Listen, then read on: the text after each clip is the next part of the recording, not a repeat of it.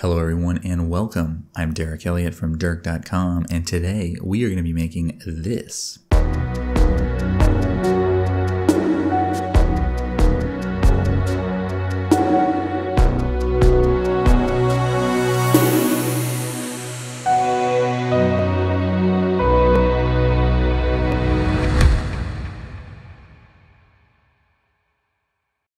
So, yeah, kind of cool, sort of luxurious wine animation here. And if you didn't catch it, the whole thing is, of course, a Blender pun made possible by none other than Kieren Black, an actual wine label designer living in Denmark, but he's from Australia, where many good Blender things we know come from. Um, so I'll tell you more about Kieren and the label in a minute, but just want to quickly make note of a few things and kind of walk you through what we're going to be doing. First note is that this YouTube video is actually only covering the first half of the project. We'll kind of get up to the point of creating a nice still render of the wine bottle. I know you're probably thinking, you know, wow, two hours crazy long, but Believe me when I tell you, uh, that'll only get us halfway there, and the whole thing is over double that. So, next part is going to be coming in a separate YouTube video. But because it did end up being so long, and because I love you so much, I have released the entire course on my website at courses.derrk.com for you to follow in a more appropriate format. Kind of allows you to better track your progress, hide some of those pesky ads, and focus on getting top notch Blender knowledge in your head as fast and as efficiently as possible. So that's uh, that's totally available right now if you want to go ahead and dive into that. Just need a little more time to wrap up the uh, second half of the YouTube editing. So that video will come out, but the whole thing is available now on my website, courses.derrk.com. And it's all for a, a very pretty reasonable price, I would say. Uh, price you find very familiar with my content. That price is free, of course. Basically the same as a YouTube video. So the choice is yours, but I just wanted to, you know, give this a shot and I'd be lying if I said there weren't a few extra small bonus sections in there.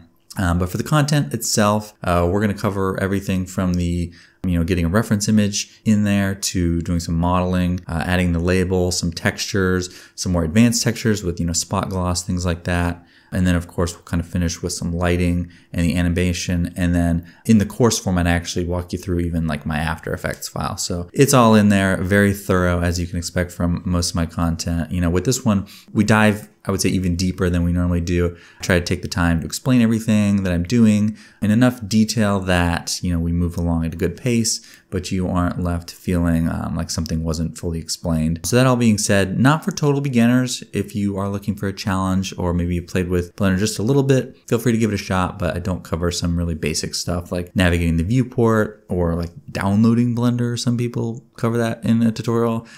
Probably not going to see that from me anytime soon. Um, yeah, I expect you to kind of already be familiar with some things like that. But hope you enjoy it as much as I enjoy putting it all together.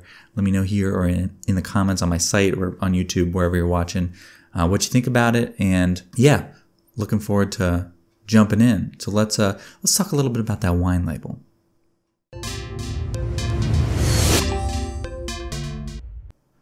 So let me tell you all a little story about this here wine label. I have found with a lot of my uh, projects in the past, when I worked with someone who is a professional in their respective field, I end up with a lot better results. Andrew Olson created the sound for my cell phone tutorial. Anastasia created the cosmetics brand for that tutorial. And those projects definitely looked way better than other similar ones that I did all by myself.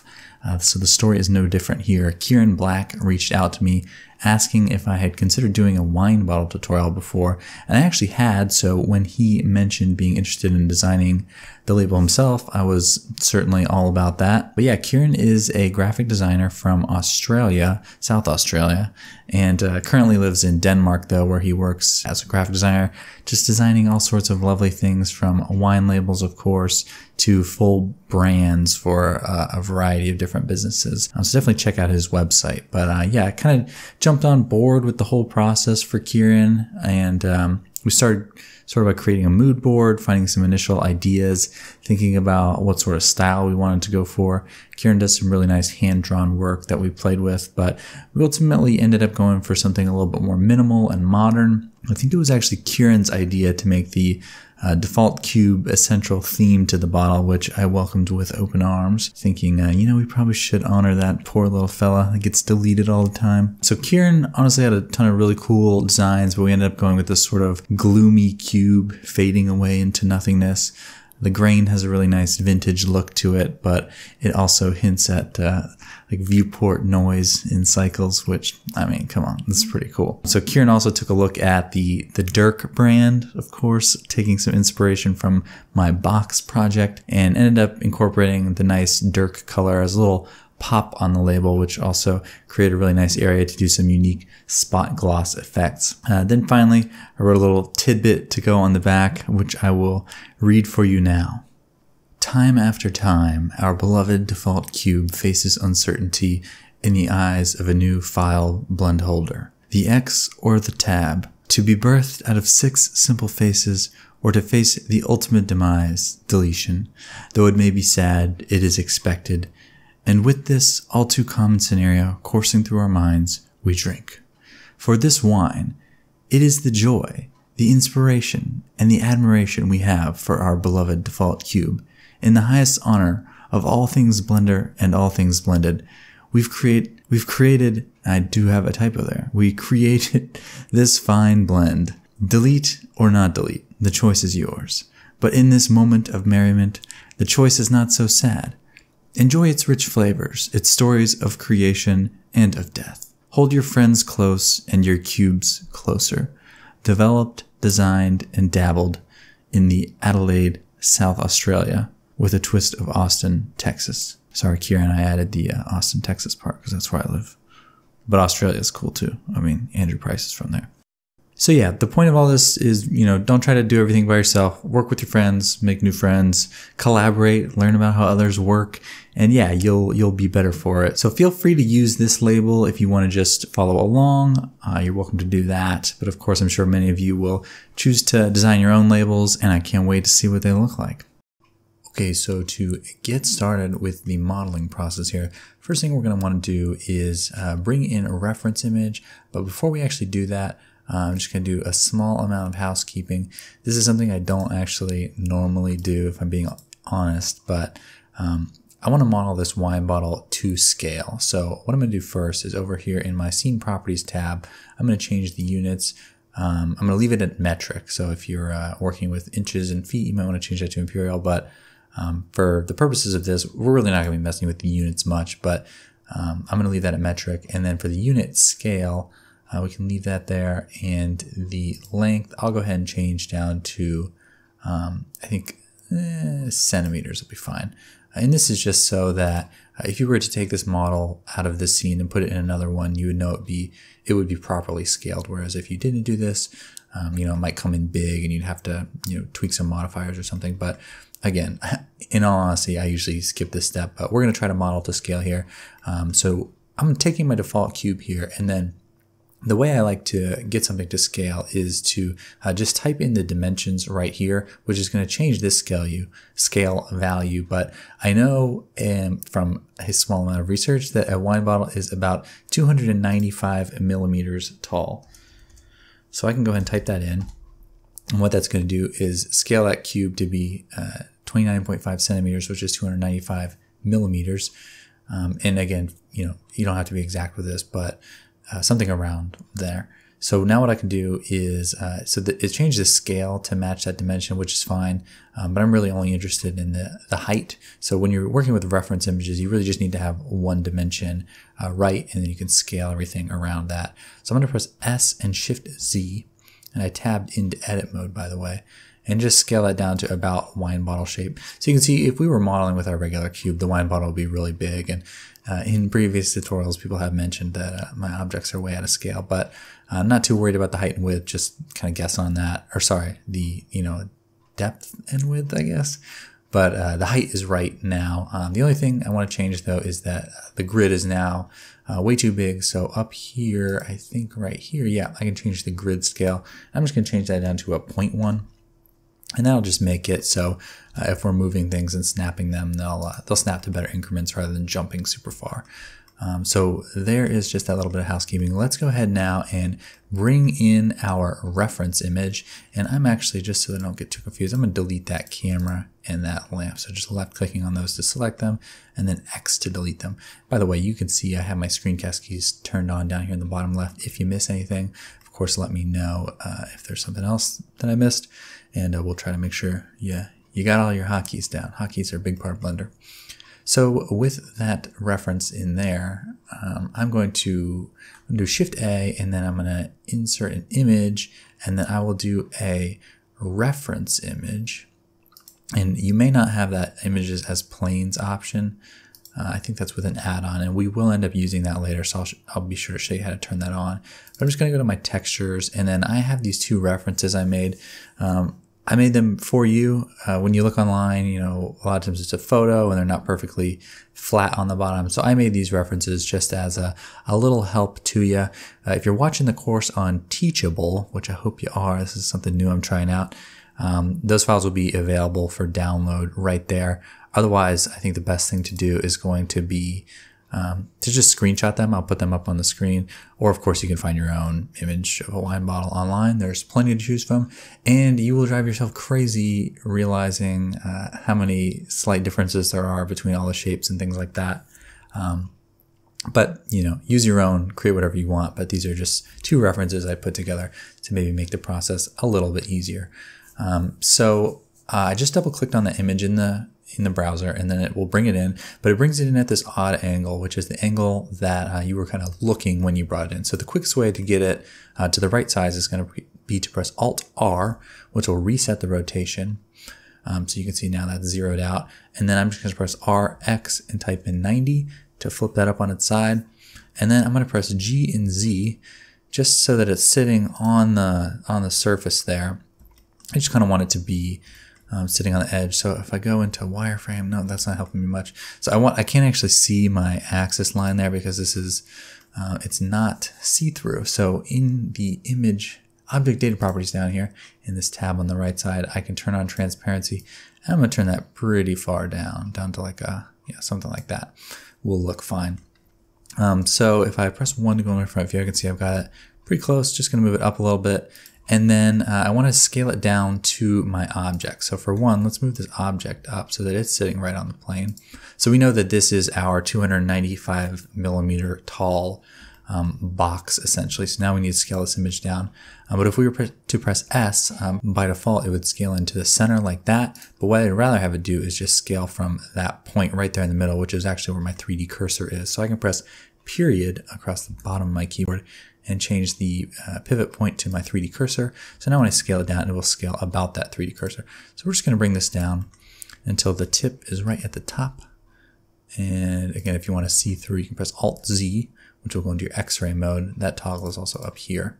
Um, so just get that about right. And you can see I was pretty close with the uh, with the width of it, but again, that's not too important.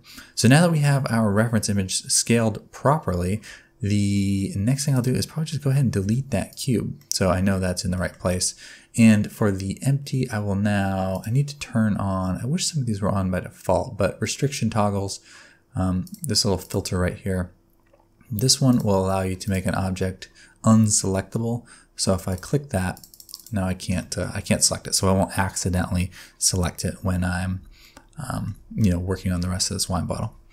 So now that my reference image is in place, I'm going to go ahead and get started with the modeling portion of this bottle. So I'm going to press Shift A and add a mesh. And for that mesh, I will make it a circle, which is going to add a circle right there.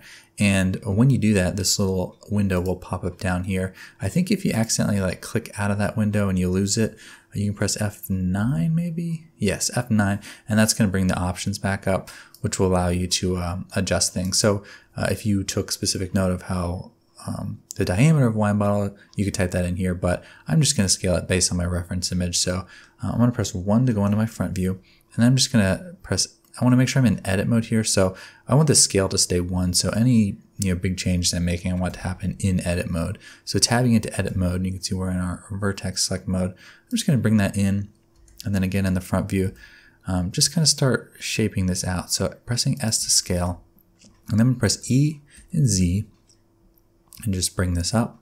somewhere around there.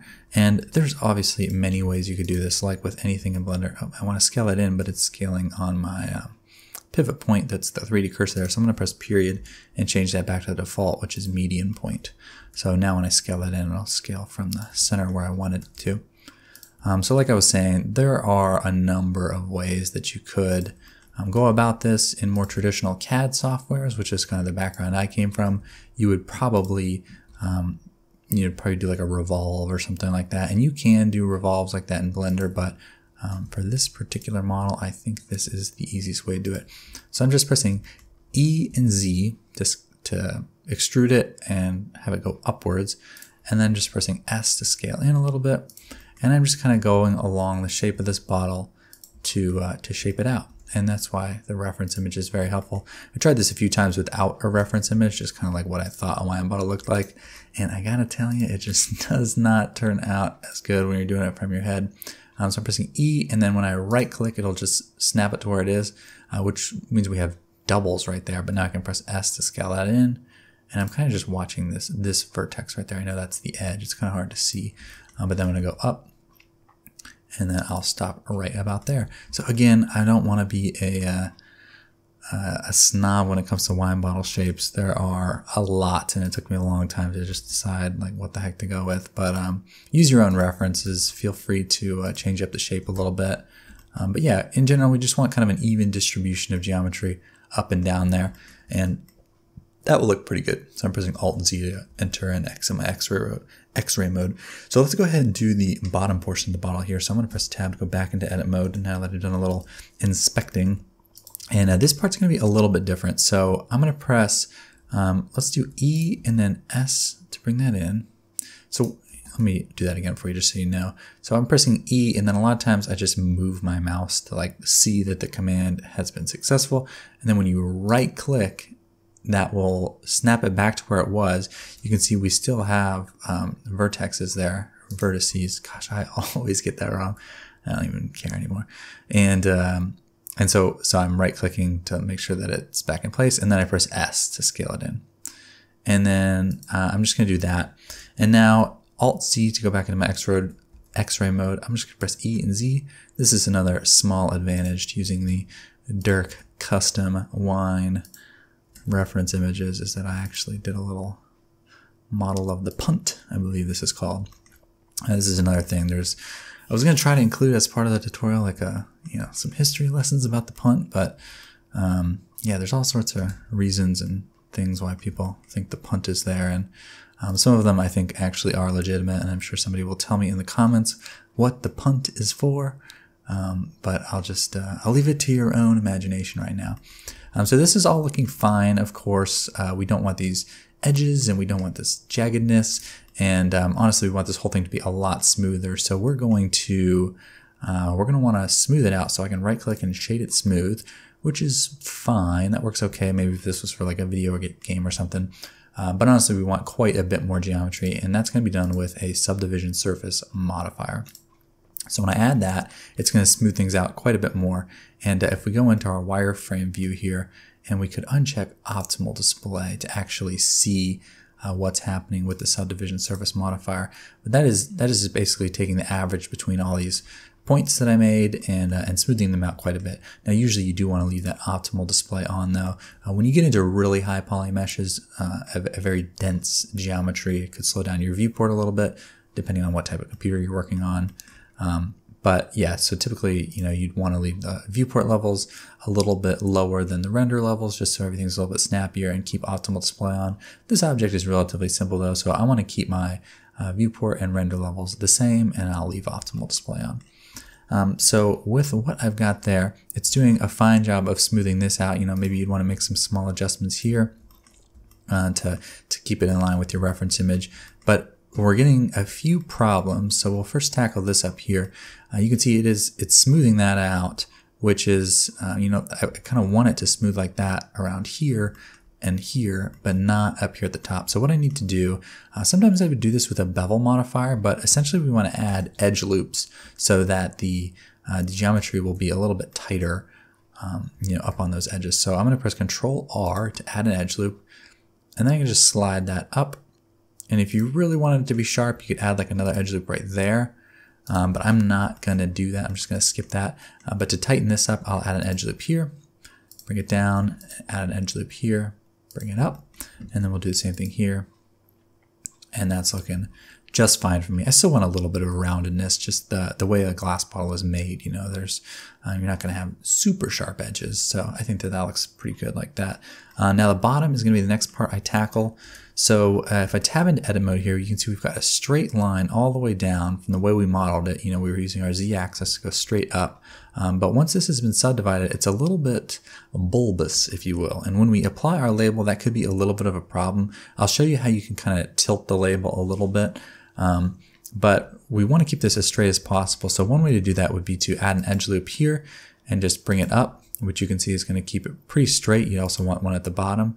Um, but the problem with that is if you slide this edge loop up a little bit too much, you'll um, you'll start to get what looks a little bit like a like an edge there. You can you can kind of barely see it. Maybe if we turn on our cavity and our turn those up. No, I can't really see it too well, but um, you know, there's a little bit of a seam there that I don't like, so um, it's fine to leave it like that, but let's just bring that down a tad. And then similar, similarly at the bottom, um, you just don't want any geometry too close to each other. So this is mostly straight as we can see. And by bringing this down, we were able to kind of create that roundedness there. And here you can see a production of the subdivision surface modifier. So that's still a little bit jagged. So you could even crank that up a little bit more if you wanted, or of course adding more edge loops will uh, give it more to work with. So I think that bottom shape looks pretty good. You know, maybe what I want to do is just scale this in a tad, just to kind of match the reference a little bit closer. But um, these references that I created are by no means any like scientifically accurate wine bottle or anything. Um, so, so don't worry about matching the reference too closely, but I did create those just for you. As you can see, we've got the nice, uh, the Derrk branding on there. Dirk KB, which we'll talk about in a, well, I think on Teachable, I was going to do a section where I talked about the label first, but uh, here I am recording the first part. I have no idea what I'm actually going to do. So, uh, like and subscribe if you're watching on YouTube. And if you're on Teachable, then um, let me know how it's going. I, I really want to start kind of making my tutorials more as like full courses. I think that that'll, that'll be more fun, serve you better, be a little high, higher quality, better experience. Um, so anyways, with that note out of the way, we need to add some thickness to this thing. It's not looking, uh, not looking so hot there at the top. Cut some lips up there. I don't want that. So I'm going to add a solidify modifier, which is going to turn it into a little chunky boy. That actually looks kind of cool. It's like a milk carton or something, but it's going uh, it's going out the wrong way. So I can make it go the other way with the offset option here. Bring that the other way. And then uh, I can bring this thickness down. Now, if you just click and drag, it's going to be a little bit too much. So you usually want to, on pretty much any field in Blender, if you hold shift while you're dragging, it will allow for a much finer tuned drag. So I'm just going to bring that to something like that. Now we're actually not really going to see the top because we're going to be modeling some foil on there. But um, for the purposes of the glass shader and things, it is uh, probably a good idea to have uh, this thickness here. So with that done, um, everything is fine and dandy until we go into our wireframe mode or our x-ray view. Uh, we can see that we've got this, uh, it's kind of like, you know, so this tight bend, when it gets pushed out with that thickness, is kind of creating this really bad geometry, um, which we don't want. So uh, the way we're going to fix that, we can't really fix it very well uh, just in the modifier here. So we're going to start applying some of these modifiers to fix some of those issues. So what I'll do first is press Shift D and then X, and I'm just going to hold Control. And that's I'm just I like to bring it out um, by with a snapped increment so that if I need to bring it back into place, I know I can get it right back where it was. You can of course do that with other snapping tools, but um, that's just how I like to do it. And I'm going to move this bottle to a new collection, which I will call the trash collection which, as I like to say, if you needed to get back in there and uh, step back a few steps, you wouldn't call it the trash collection. You'd call it the pat yourself on the back for uh, creating a duplicate collection, but that doesn't uh, doesn't fit up here. So I'm gonna press this little exclude from view layer button, which is gonna hide that. And that's great. So now I have, the reason I wanted to do that is because now I'm gonna apply the solidify modifier. So to do that, I'm gonna press control A right here, and that will apply it. And I think there's a way you can do it. Yeah, apply right there. Uh, when Blender 2.9 came out, I think they changed something about the way you apply modifiers, and it was a little confusing at first, but there's a little drop down right there. You can apply the modifiers. So that's looking dandy, just fine. Um, it got a little bit rounded up there. We'll fix that after the fact. Well, we could, I guess, fix it now. We would want to just do what we did before and maybe add in a little bit of an edge loop there to sharpen that up. Uh, but we really want to do, what we really want to do is fix this, um, that whole middle area. And the way I'm going to do that, so I know that from this ring down to somewhere around there should be straight. But now we've got all this other crap going on. So what I'm going to do is I'm going to press Alt and left click to select that ring right below. And I'm going to press X and delete those vertices. And then I'm going to do the same thing right here, X, delete those vertices. And then now what I can do, so basically I've, I've kind of cut that section off. So now it should be its own floating piece of geometry, which I can hover over and press L and it will select uh, linked. It will select the, that mesh island, if you will. And now I can press X to delete it. And then I just need to connect these back up. Um, so the slow way to do this would be to um, just do it one at a time around the outside. That's very tedious. That's probably what I used to do. I, in fact, remember doing that many times, and it is a waste of time. Because what we can do is select that ring and then select that ring, and then in your loop tools menu, which hold your horses, you're probably not going to have that. It is still an add-on in Blender. So you need to go to your add-ons and then go to loop tools and just check that box. It's not, you don't have to buy it or download it. It's automatically installed in Blender. It's kind of cool. Blender comes with like so many add-ons already, um, but you just have to turn them on. And I guess that's so that the software's not too heavy. Um, but yeah, loop tools, it's a good one. I definitely don't use it to its fullest feature set, but uh, for something like what we're about to do, it works well. So I'm to go loop tools, and that's just right clicking loop tools and then click bridge. And that will work wonders to bridge that gap. And uh, sometimes it might be kind of twisted or something. There's this little option down here that you can control um, whether or not that's twisting or how much it's twisting. So I don't want it twisted. I want it just like that, and that's great. So now though, this is getting rounded over way too much, so I'm just gonna add in an extra edge loop right there. And then I think I could probably delete that one if I wanted to, just for the sake of keeping things nice and tidy. Yeah, I think that looks good. So we pretty much have our wine bottle here. I'm pressing R twice just to do kind of a, a free rotation, uh, kind of inspect it, see how it looks. And uh, I think it looks pretty good. So what I will do now is just go ahead and take my background image because I'm all set with that. And I'm just going to move it into my trash collection so that, of course, if I need it back, it's there, but it's out of sight now. And I just have my wine bottle here ready to do a little bit more work with. So back on the topic of add-ons, we are going to use another one, but this one is also very simple. Um, by the way, you may have just seen me press Shift C to snap my cursor to the center of the scene. I always like it to be there, unless I need it somewhere else, I guess. Yeah, it's it's nice to have it right there in the middle. It just makes my, you know, my perfectionist heart even warmer.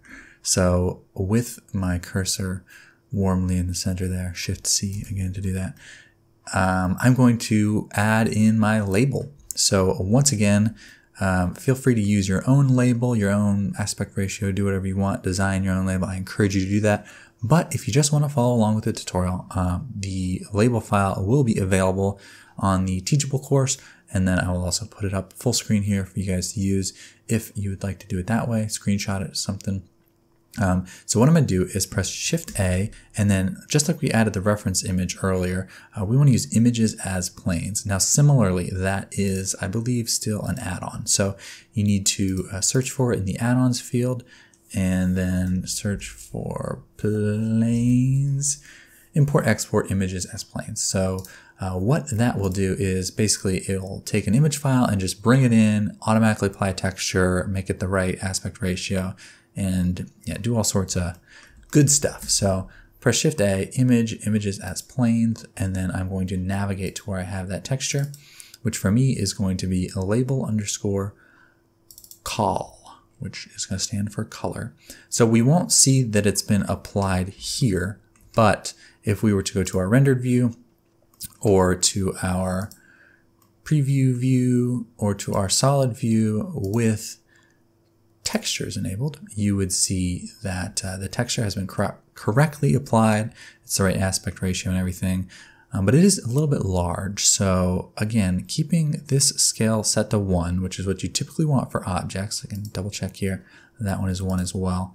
We want to scale this down though, but I'm going to do that in edit mode. So tab S to scale it down. And I'm just going to guesstimate sort of right now and then tab out and see that this scale is still one and it's a little bit closer to what it needs to be. So that is just fine. So now I played with several ways to wrap the label around the bottle, but the simplest method I found was going to be to actually add in a curve object. So I'm going to press Shift A, add curve, and make that curve a circle, uh, Bezier circle or NURB circle. I don't think it really matters.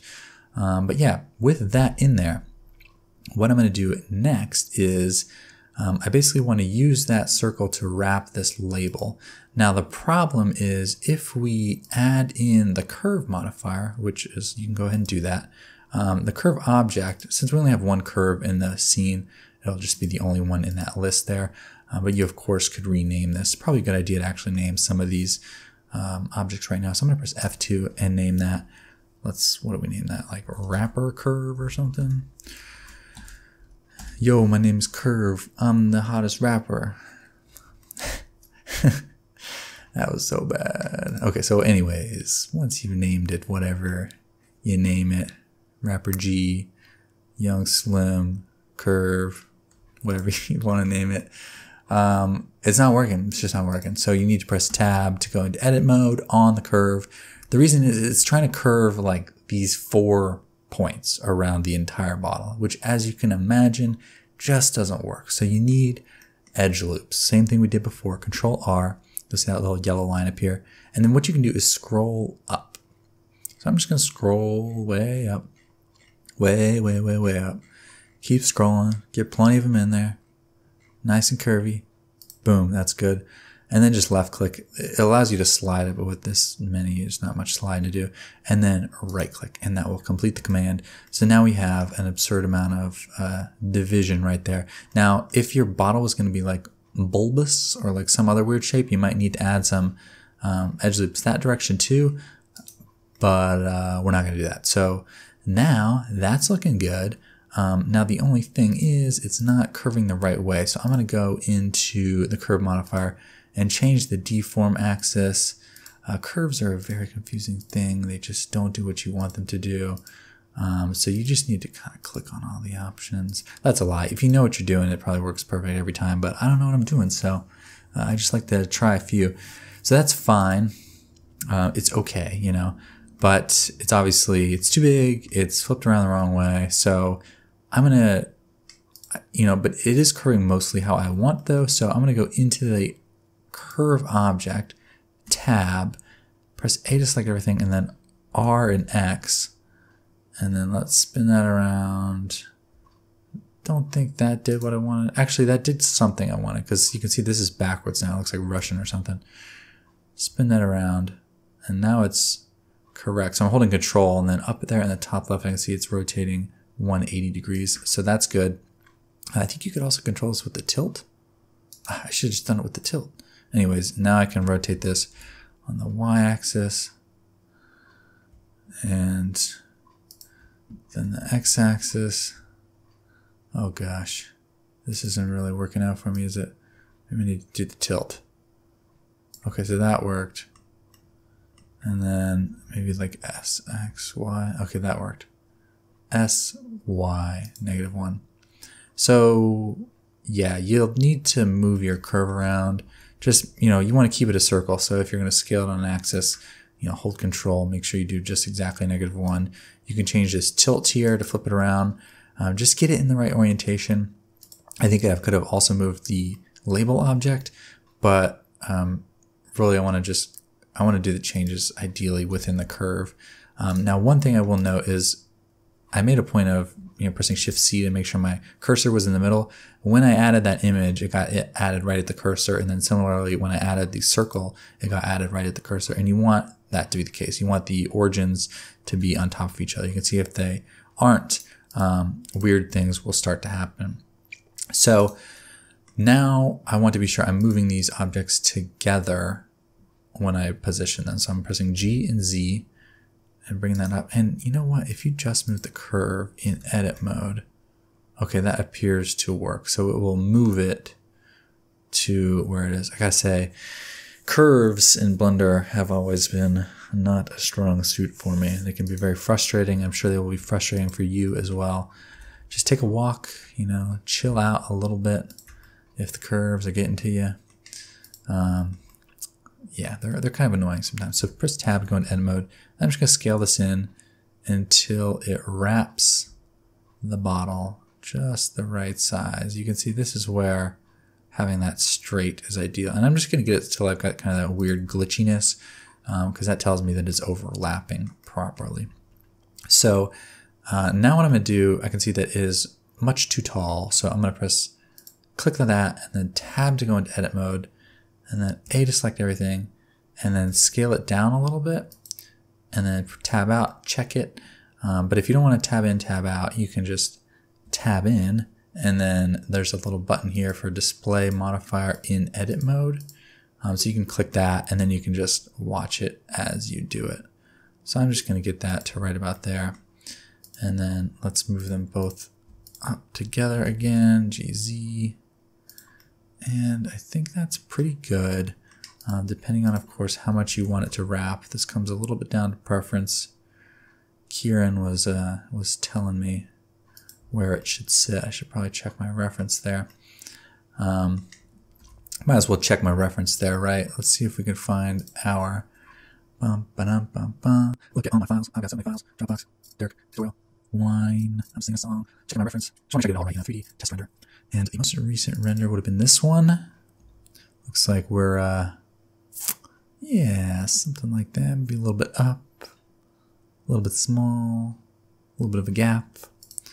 I just want to get it right um, because I tend to like to use the exact file from every part of the tutorial in the subsequent parts. So there's no smoke and mirrors, nothing changes. So I'm just going to get that into about the right position. And of course, we can adjust it more later if we want to. So that's on there. That's good. Now what I need to do is add a little bit of thickness to it as paper does have a little bit of thickness.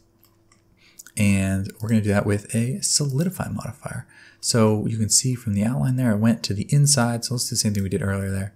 Flip that to the outside and then just bring the thickness down. Um, and even holding shift, I can't quite get what I want. So I might just type in a value. Let's do 0.05 centimeters, which would be like a half a millimeter or something. Who knows? I live in America. There, that looks pretty good. Uh, now the other thing you'll notice is that these sections are a little bit larger than these sections we created, which why is that? Well, it's because the curve object actually has a resolution of its own. So if we select that curve object, you can see the preview resolution and the render resolution are two options. Uh, I believe, yes, if, if, it's, if the render resolution is set to zero, it will use what the preview resolution is. So 12 is not enough. So I'm going to turn that up to um, just a nice even number like 64. Should make it nice and smooth. And now those sections are as big as we made them. And that is going to be probably plenty of um, definition. You know, if you're going to get insanely close, you might want more than that. But for our purposes, that's going to be just fine. So we can go ahead and right click, shade that smooth, um, which is going to make this part look good. But then we've got kind of some weird shading. And that's because similar to the subdivision surface, it's kind of like trying to round something that, you know, wouldn't really make sense to be round.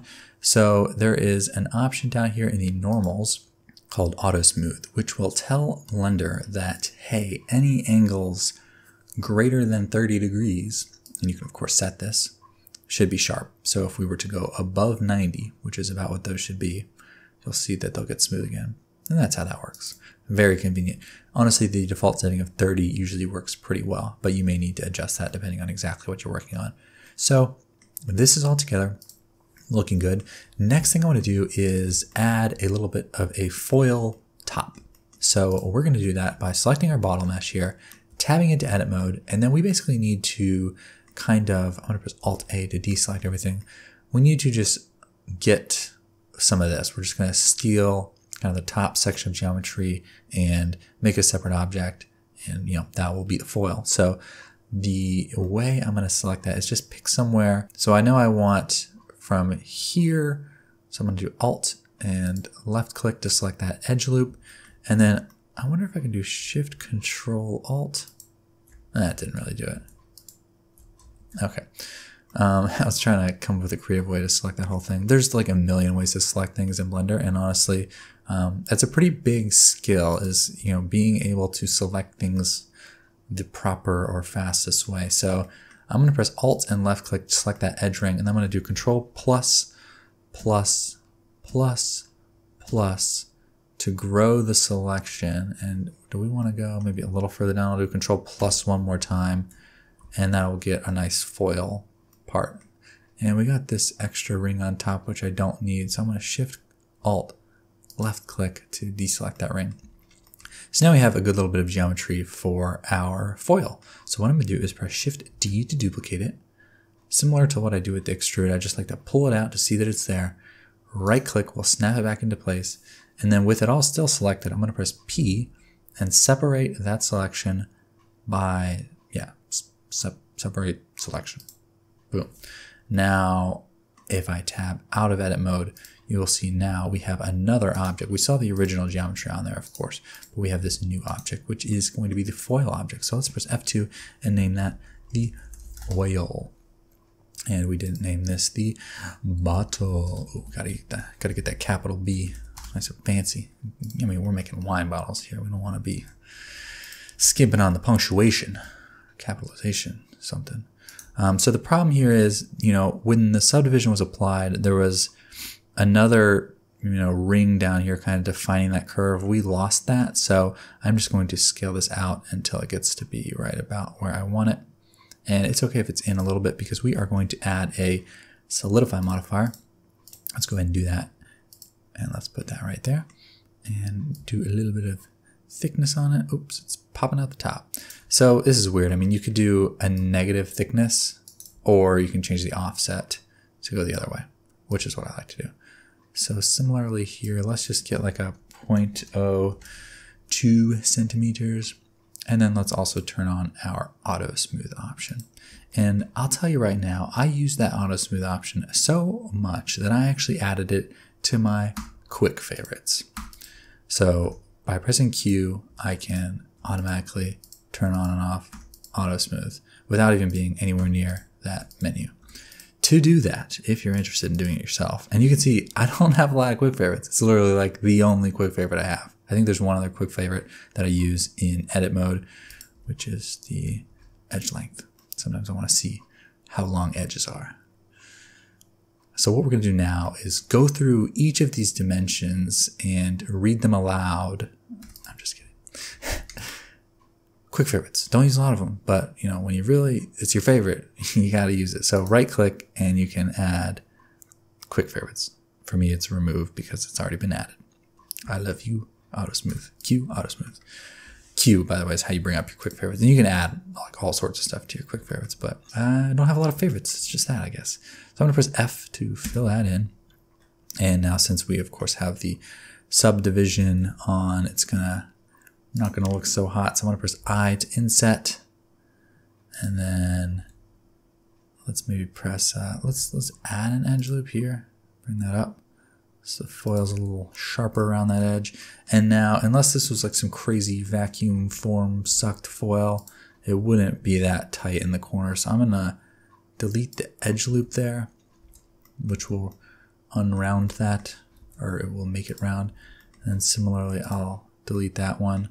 And that might be a slightly more realistic foil, um, you know, or maybe you add it back, but you just kind of, you leave a little bit of and you, of course, don't have to have foil if you don't want it, but I'm a foil kind of guy, I guess. Guess I like the foil. Looks classy. And now this, there would usually be like a cork right there, so I'm going to press I to inset that. Or wait, I'm just going to bring it down a little bit. I don't want it to poke through. Press I one more time. And then I'm just just trying to make a nice little indentation there. Bring that up. There. That'll be very, very pretty.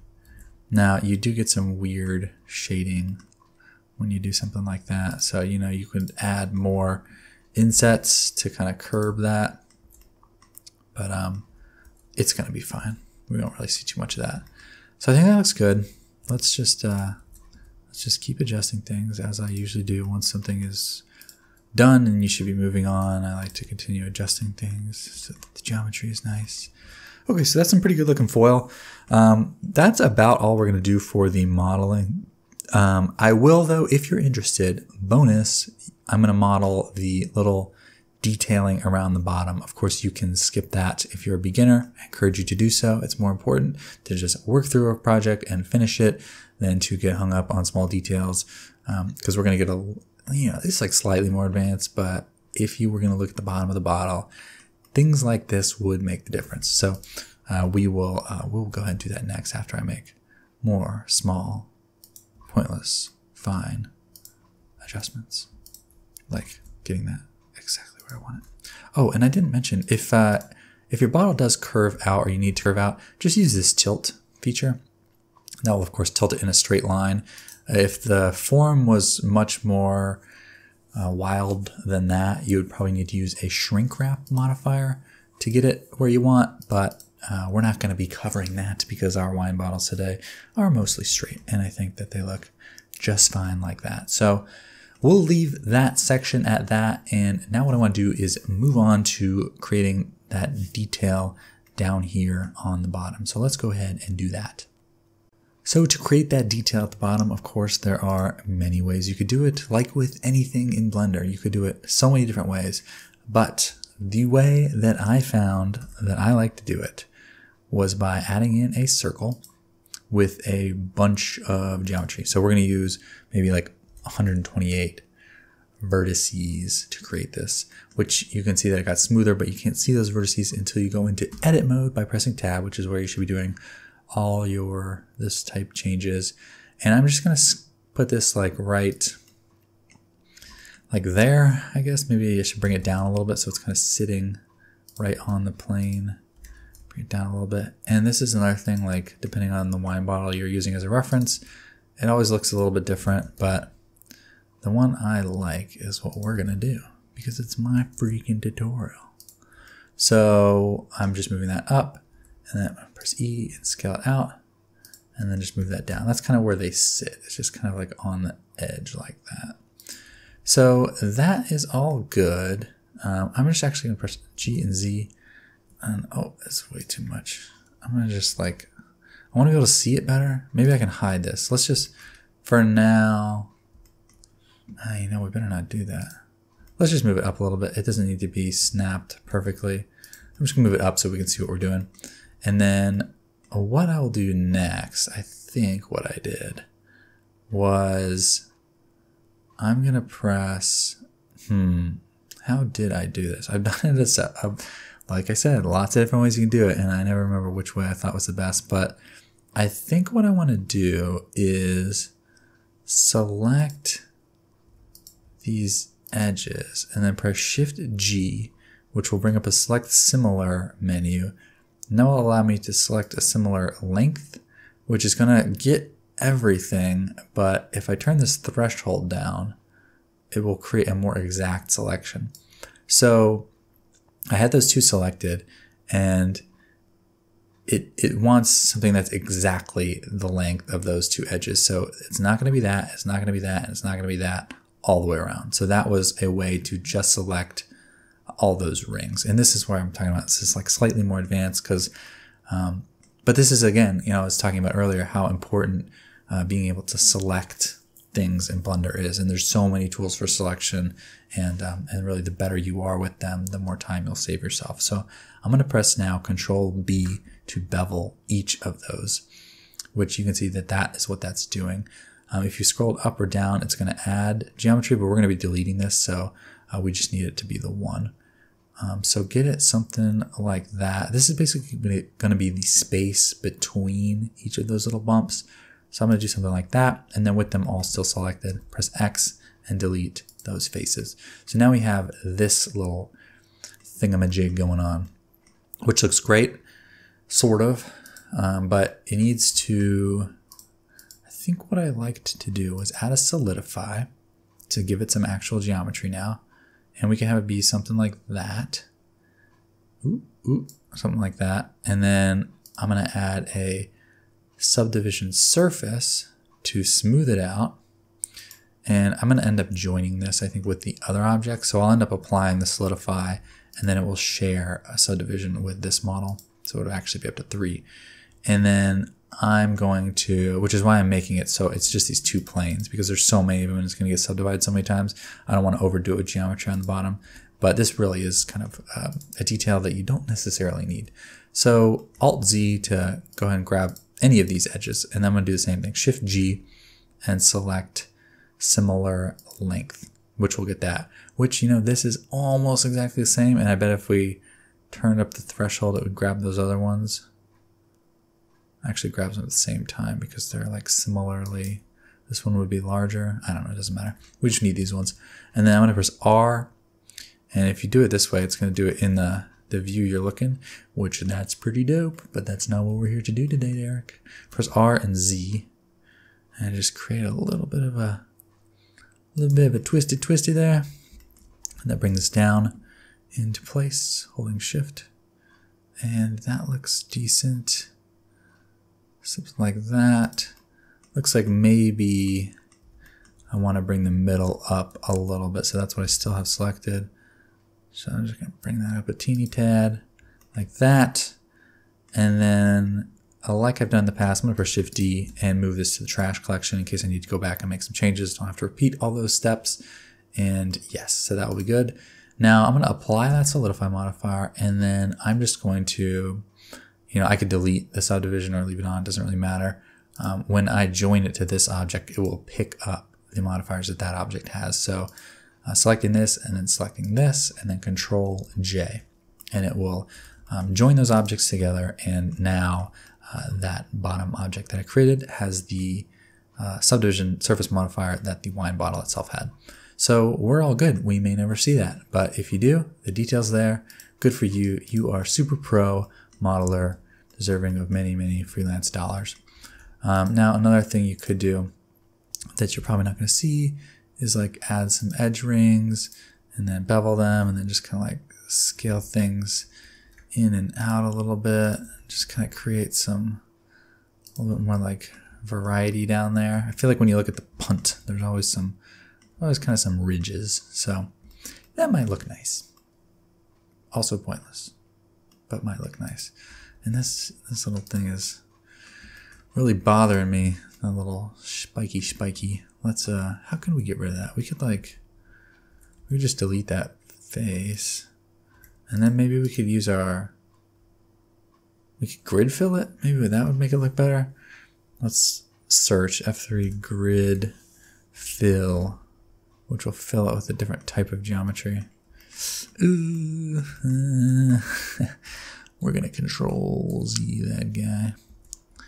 Um, I guess if I just moved it down a little more, it wouldn't look as obvious. I don't know. Let's just leave it. We're not going to see that. This is one of those things. Dealing with circles. I could control B to bevel it. I'll just kind of smooth it out a little bit. now it's just, now it's just tinier. That's okay. We'll leave it. So I think we're pretty much all set on the modeling. Last thing I'll do to wrap this up is um, just create a, you know, we could probably apply the curve. Wouldn't be a bad idea. Maybe let's just, let's just trash collection it up. Shift D. Now when you duplicate an object with another object that it like references, the new object will reference the new object. So Shift D Let's bring that on the y-axis. Now I have two curves in my scene. This is wrapper curve 001 and this is wrapper curve regular. Still hasn't produced any music as far as I'm aware. I mean, how long has he been a rapper now? She even? Who knows? Um, now is linked with that. So we're going to move those to our trash collection. And I haven't done this before, so it's probably going to mess me up later down the line in the tutorial, but I'm going to apply that curve just so I don't have this object to mess with. So I'm going to delete that curve. And yeah, we should be all set unless we need to make any changes, in which case we're totally screwed. And now is when I'll check that that's flush, even though I should have done that before. It's okay. It looks good. So we got our foil, label, and our bottle with our nice, nice detail. What happened down here? Why does that look a little bit different? Is that because I screwed with the darn? Is that because I screwed with the darn edge loops down here? Select similar area, G, Z. Bring those guys back up a little bit.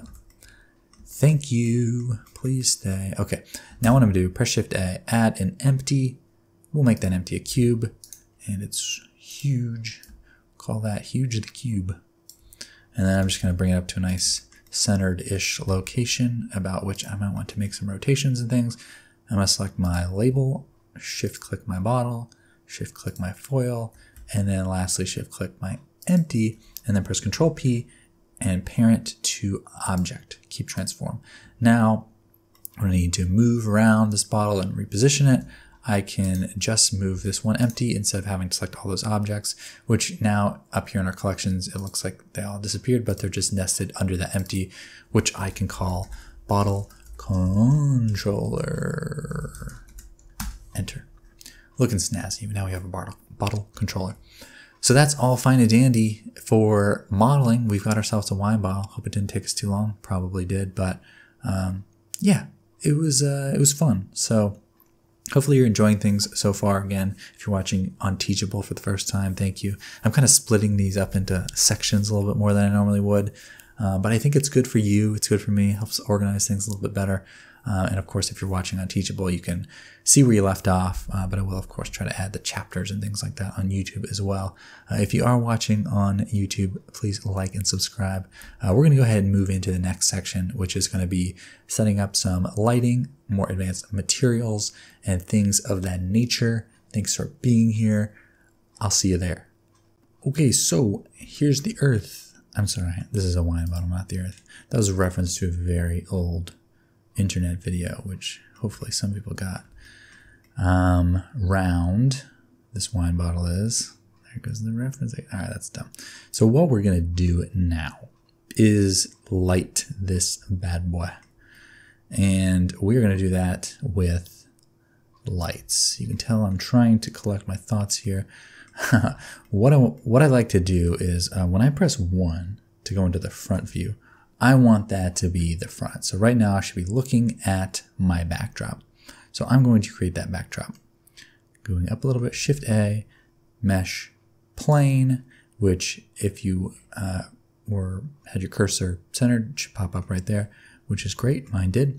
Tab into edit mode, scale this up a little bit, and then um, I'm just going to select this edge and then E and Z to bring it up a little bit and then I will press Control B to bevel this. And then scrolling up, create a very simple little seamless backdrop.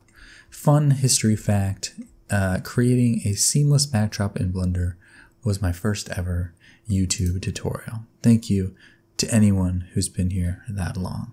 I'm gonna right click and shade that smooth and double check that when I press one, I will be looking at that backdrop. And I am. So that is great.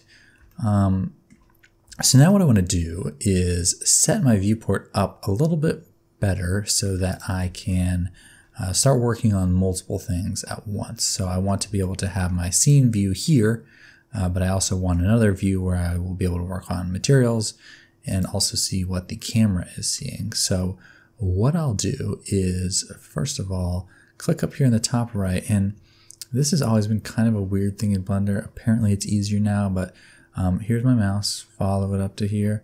Just kind of hover in this area and then drag to the left. We'll split out a view. And almost all the time, I like to have my rendered view down here, but since this is going to be more vertical, I'm going to step outside my comfort zone and this will be the rendered area. And this will be the um, model modeling area. Uh, I will eventually drag down a shader editor into this sort of area, but I don't think I need to do that yet. So like I said, rendered view. We're going to switch this to a rendered view. Now, by default, we are rendering in Eevee. I'm going to press N to hide this sidebar. And uh, I will turn off my overlays with that button right there. Um, so now I just have an unobstructed view of what my bottle looks like rendered. Um, now I am going to try to do maybe a small section towards the end of this on what to do in Eevee, but uh, for the purposes of this and what I really think looks sorry, what I really think looks significantly better is to render this in cycles. However, especially if you're going to do an animation, that may take quite a bit longer, and depending on the computer you're working on, could slow you down. So feel free to follow along in Eevee, but um, at least for the next few steps, we're going to be doing this in cycles. So I want this view over here on my left to be my camera view, but I deleted my camera earlier. What a mistake that was. I'm going to press Shift A and add a camera back in, which is going to add it right there at the uh, where my cursor is. Um, so now what I'm going to do is just bring it back G, Y, and then just kind of G, Z. And then what I usually like to do to just get it looking straight ahead is is just holding control and then I'll just mouse over these fields and it'll just snap it to increments. So the Z should be zero, X to be straight ahead would be 90. And then uh, similarly on the X, it should be zero. Y, let's go ahead and snap that to a nice even number. And Z, we can do uh, the same thing. It's hard to tell exactly what that's seeing though, because over here, I want to actually look through that camera. So I'm going to press zero on my number pad. And by the way, I probably haven't mentioned it, but um, when you're pressing hotkeys and things in Blender, it matters quite a bit where your mouse is. You can see if my mouse is over here and I press zero, it'll take that view into my camera view. If my mouse is over here, it'll take that view into my camera view. So um, that's one small thing that could be confusing if you're uh, starting out as, you know, maybe your mouse is over somewhere weird and you press the hotkey and it's not working. Uh, it could, it could be something like that. But let's now set up our, um, since this is a, mostly a vertical object, and let's go ahead maybe and just add in so we can actually see what's going on here. Let's just add in our first light. Let's do that as an area light and just bring it up there. So now, now it's not just like this dark thing over there that you can't even see what's going on. Let's make our aspect ratio the opposite of this. So let's do 1080 by 1920. And yes, marvelous. Now this would be, let's bring this in, just kind of get it in the right position. Maybe bring it down a little bit. This is a critical moment. This is where you decide what mood am I trying to set. Of course, you can change these things later as much as you want. So it's not that critical. Go ahead, wipe the, wipe the sweat off your brow. We're going to make it through this part of the tutorial just fine. We want to decide some things like maybe the focal length. So is this an epic, epic bottle of wine? The biggest, the best you've ever seen? Do we want a very small focal length so that our bottle stands tall and proud? Or is this maybe more like a wine ad would be, where you use something more, more longer, like a 61 that I'm trying to get to 60 because that would make me feel better. Oh, there we go, 60. Is that what we're going for? Do we want to be down on the floor level, a peasant looking up at this fine blend? Do we want to be high in the sky, a seasoned wine snob looking down at this fine blend? The choice is yours. I think for me, I'm going to stop talking in that voice and uh, I just want to be kind of dead on, just very understated. I mean, I'm kind of making a joke out of it, but seriously, like when you're look at reference images is one good place to start, but um, you can tell a lot about a product and just, you know, you can really paint the picture with things like the focal length, things like where the camera is in relation to the object. Uh, maybe we want to look down ever so slightly at this. So that's something like that. And then let's just bring it in a little bit just to frame it quite nicely. So I think that looks quite nice. We'll leave it at that for the framing and I have my viewport set up how I like. We can go ahead and add in a few lights. Now, uh, it's a not a horrible idea. I was gonna say it's a good idea, but it's like it's not that not that huge of a deal. Um, to do your lighting with not too much material action going on, it'll really help you to see the reflections, the shadows, and things like that. Uh, that being said, I will go ahead and set up a very simple material for the glass by clicking that, and then here, and then I did the little, did the new button right there, which I think it already created one, so it's right there. I'm to name that um, bottle as one would. And now I won't even color it yet, but what I am going to do is turn the roughness down so that it's nice and shiny, and I will make it a little bit of a darker color just so that we can um, just so that we can see what we're doing a little better. We can see the reflections of uh, the lights that we're about to add. So this one right over top is not doing a whole lot, but I do think I like it. I think I'll leave it there. And oh my god, what is that bug? Why does it always happen to me? Um, sometimes when I scale the lights with the button, it gives me bad errors. Always a good idea to save your file if you haven't already. Um, I have saved when the camera was off. This is the only smoke and mirrors. So I saved the file. I didn't change anything else. So uh, I think let's maybe just move this over. Oops, GX move that over there. And again, this is a good point to look at some reference images, uh, see what you can find, and just kind of try to mimic those. So a lot of the ones I see have this really nice sharp line going down one of the sides. Um, so I'm going to actually use a rectangle so I can have a little bit more control over the size there and hope that that error doesn't come back. I'm going to save so that it doesn't come back or if it does I'll fix it and yeah, I'm just, I'm really, I'm kind of looking over here.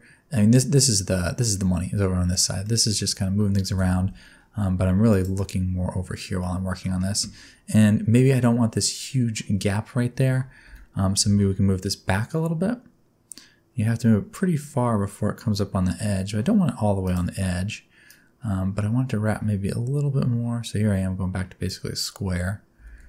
And I just want to get a very nice gradient. Something like, maybe like that looks good. And that'll be a decent placement for my first light. You might consider uh, turning that up or down. Um, I also think I'm going to end up having this background maybe be black, or maybe just for now I'll make it black. Um, so let's just do a new material. We'll call that the floor, and we'll make it black. And it's it's a little bit shiny now, so we can turn the roughness all the way up, but uh, we may mess with those materials a little bit more later. Right now, we're really just focused on the lighting. So I've got that really nice highlight there. That might be all you want. You might not want any more than that. Um, but for me, I do want to add a little bit more interest and get some light going on over here. You can see um, we do have some things happening, and that's just because of our our world strength. So right now, our world is this um, gray color, which, believe it or not, is adding light to the scene. Um, and in other tutorials, I've turned the strength all the way down to zero so that we're only receiving light from lights that we add and we have complete control. Um, but for this one, I actually think it looks decent to, um, to leave a little bit of world color on. You could use an HDRI if you really want some intense reflections. Um, but in my experimentation, I found that just using this uh, white looks fine and you could leave it gray or for some reason I want it to be white and then I want to turn the strength down to like 0.1 or something just so that um, nothing is going to be completely unlit. We don't have any black and we're already getting a little bit of a nice gradient with that. Um, so what I want to do now is another thing that if you've watched my one of my tutorials before, you know I like to do is add a light. We'll add a point light and then we're going to move that back and then we're going to move it up. And what this is going to do is going to kind of create very natural. And by the way, if you don't want, my computer is using processing power to render around this as well, and I don't need that, so I can press Control B and drag, just drag over that window, and it will uh, snap that to the camera view. So now uh, I just have that one picture there. It's not quite so obstructed. Um, so what this point lamp does is kind of creates a little bit of a natural vignette and if I bring the size of it, by the way, this happens to me on a daily basis. I am messing with lamps and I'm in the world setting and I turn the strength up and it's not doing what I freaking want. because I need to be in the lamp tab. You gotta be in the lamp tab, Derek. That's what Blender tells me every day. You gotta be in the lamp tab, Derek. I wanna adjust the strength of this lamp, bring it up in the lamp tab. Oh dear viewer. Um, but now if I bring the radius up, you can see, and we'll look at it in this view, you can see that that would be like the size of that light. So the smaller it is, it's not really wrapping, it's barely wrapping that edge there. But what I'm going to use this light to do, besides create that nice natural vignette, is to um, create a little bit of a, what's that called? An ed edge light, rim, rim light, I think, something like that.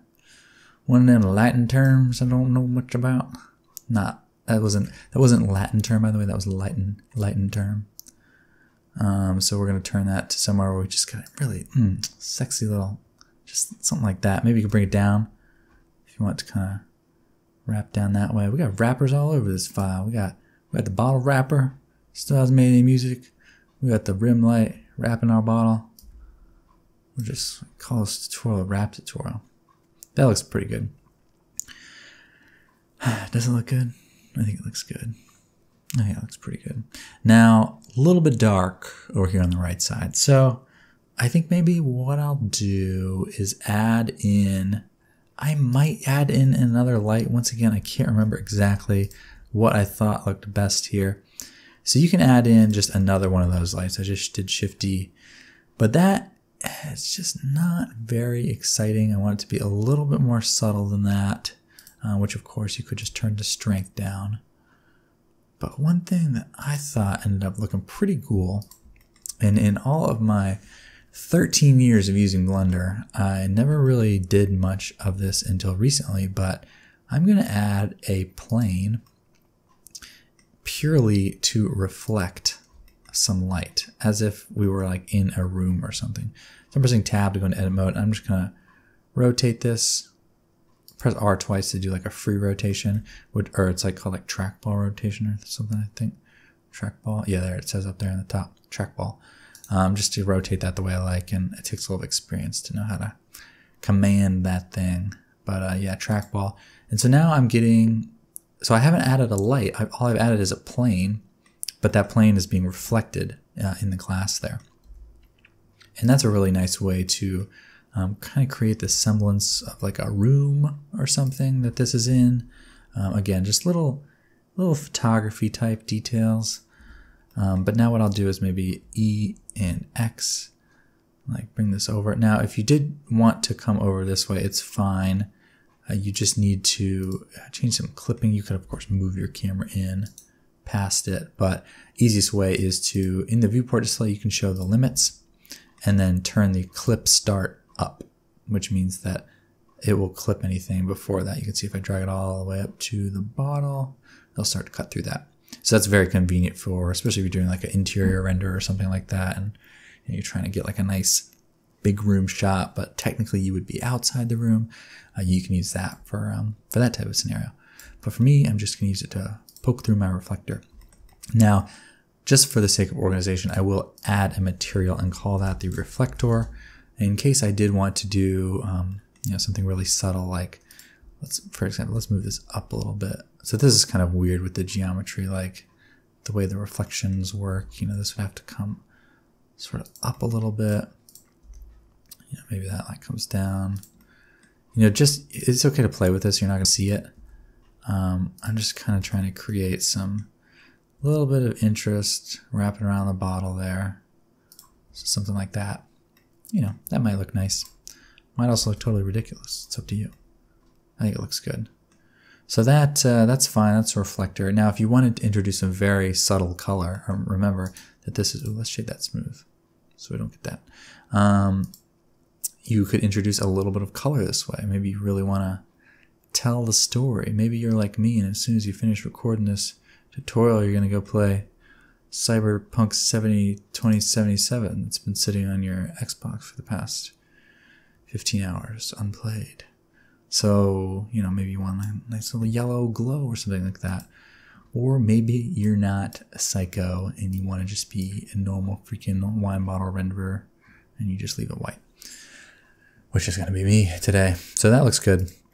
bring this up, bring this down, keep playing with the lighting. I'll try not to hold this up any longer, but for real, like this is the type of stuff you want to spend time on. I'm gonna press Shift D to duplicate this lamp, and um, but yeah, for real, like just move things ever so slightly. Keep tweaking it until you get the look you want.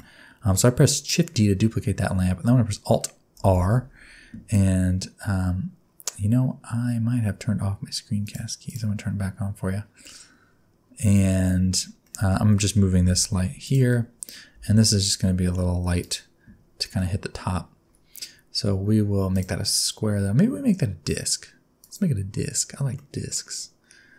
And then we can make it quite a bit smaller perhaps. We might not need this.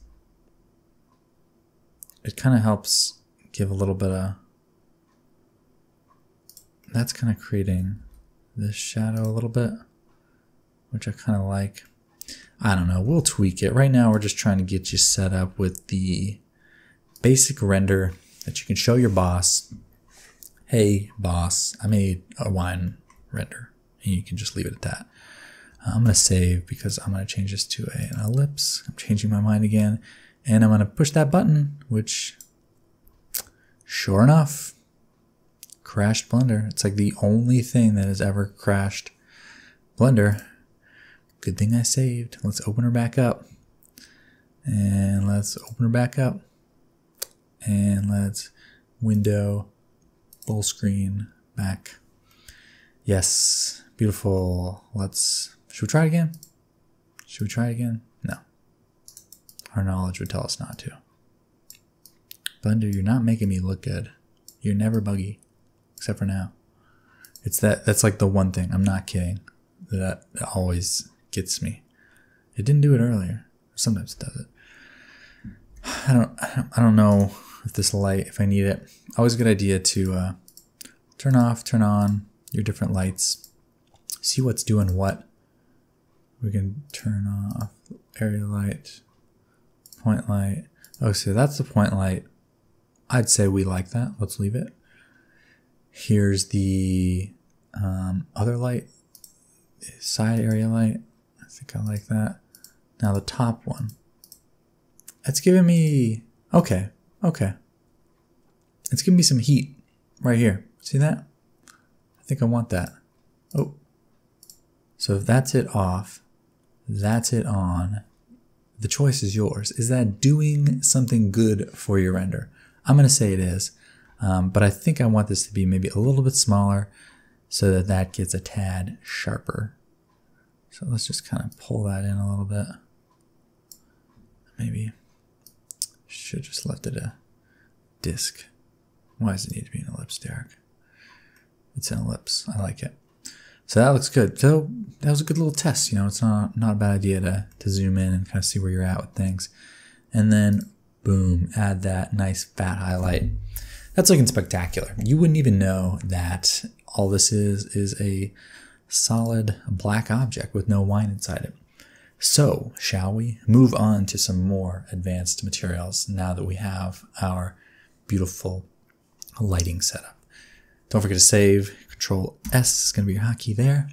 And yeah, let's set up the materials. So the first material I think I'd like to work with is going to be the wine bottle material. To get myself in a position to work with that a little bit better, I'm going to drag down a window right here which I will make a shader editor. So clicking up here, I can turn that into a shader editor. And if you are familiar enough with Blender or you do something enough times, such as myself, you would know that the hotkey is S. So when I need to make a window a shader editor, I just, you know, say this was in the 3D viewport, I just boom, S. And you can see S is underlined there. So that's a, that exists like a lot of places in Blender um, where you see a little underlined letter. That's once the menu is open, if you press the hotkey, it'll switch to it. Small little tip there, but don't want to leave any tips off the table. Tip of the table, tip off the table. So we're gonna do the bottom material. Now, right now, if you recall, it is just black with low roughness. Uh, I'm gonna keep the roughness low, but I want it to be not black. I want it to be like a clear material. So to do that, I'm gonna turn the transmission value all the way up and now it is transmissive. And now I, would, I just want to check here. Light Paths, performance, color management. Oh, for color management, it's not a bad idea to change this from um, no look to high contrast, for example. A lot of people don't like that, but I just, I'm, there's not like a single render I do where I'm not boosting the contrast a little bit. Um, I am a restrained man though. It's rare that I use very high contrast. Uh, I think if you were like a real live professional, spoiler alert, I'm not, I'm just kidding. I am a professional. Um, I think if you were fancy or you, you cared more about this type of thing, you might do none and then leave it to your, you know, somebody you hire to manage the colors. But I just, I'm always boosting it. Why not have it come straight out of the oven, right how I like it with some high contrast. So bump that up. But I was looking for somewhere down here. Oh yeah, caustics. I don't know if that would have been on by default or not, but I think you want those. Uh, I think my scene is set up relatively default, but it could by chance have been automatically on for me. But make sure that's on. And uh, yeah.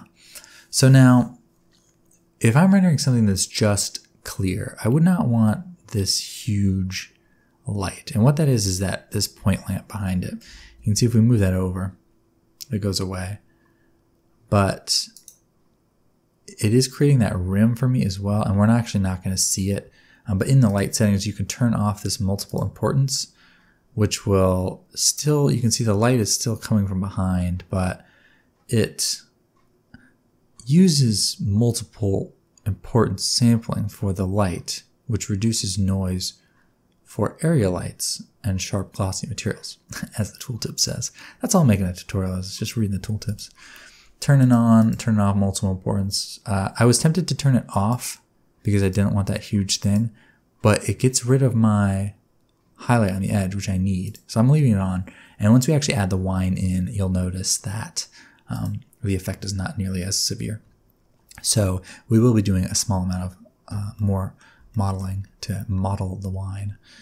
Um, but yes, so when you add any material, the base color typically is not fully white. If you want it to be a very clear bottle, you would want to turn this up to pure white, FFFFF, one, one, one, one, one, everything up white, super white. Uh, and that's a nice clear bottle, which if you were doing a bottle of rosé or something like that, you might want to leave that clear. But for me, I want the bottle to be green. So up to your preference and your reference. Wow, that was good. But, you know, what color is a wine bottle? You know, just find a green like that. Now, a little bit of saturation and a little bit of value goes a very long way when it comes to transparent materials. So um, I will turn this value down very slightly. And, you know, I'll turn the, I think I'll turn the saturation down too. Maybe the saturation is really more what I want to turn down. Just, you know, go grab a wine bottle off the, the street and see what it looks like. Then come back for part two. Just kidding. Um, so we're just going to kind of tweak this. Now, I do like to do it with the wine bottle empty just because, you know, that's maybe a, a familiar thing maybe you've seen before. Like me last night. Saw an empty wine bottle. Started off empty. That's all that happened. Um, so I'm just going to get, you know, the higher the value, the more like clear it will be. Um, so yeah, just kind of get this We're looking. I want to say names of beers that come in bottles that color, but you know, who knows what the copyright strikes these days. So I think that looks good. Something like that. Kind of a pale green. And for those of you who just have to know, the hex code is 637856. And um, now I'm going to tweak it just a little bit so that it's different. I'm sorry, I'm just torturing you.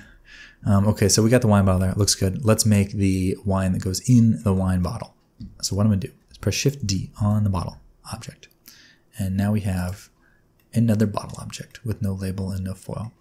So for that object, what I want to do is create the wine, which is basically the inside. And we're going to use a similar technique we did earlier um, to kind of clean that area up to create um, you know, just the wine. So the wine would maybe go up to there and we can change this later. But let's delete this ring of vertices.